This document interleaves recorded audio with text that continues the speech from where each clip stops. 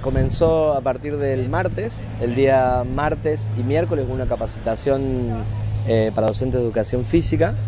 eh, sobre metodología de la enseñanza del malabar en la escuela o, en un secundario, digamos, en la primaria o en la secundaria, eh, como la utilización de, la herramienta del circo para, para la clase.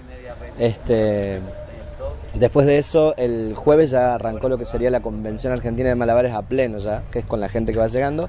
Tenemos visitantes de diferentes partes de Latinoamérica, hay gente de Colombia, Perú, Chile, Uruguay, Venezuela, eh, están, no me quiero olvidar de nadie, pero están los chicos, hay chicos de Francia, hay chicos de España, eh, una chica sueca, eh, bueno, y de la Argentina tenemos de la mayoría de las provincias, bueno, y han llegado todos a esto que es eh, una convención argentina de malabares específicamente, no es de circo en general, sino que apunta solamente a los malabares,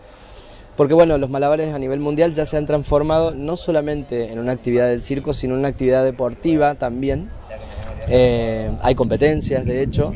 eh, y si bien nosotros no estamos pensando en competir, sí estamos pensando en capacitarnos. Entonces decidimos invitar a, bueno,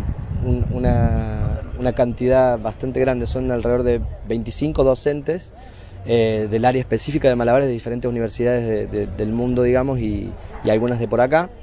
más de Latinoamérica, más cercanas, este, para que vengan a impartir sus clases en diferentes actividades que son específicas de los malabares. Hay numerología, hay prechac, hay una serie de terminologías que se empezaron a utilizar. Eh,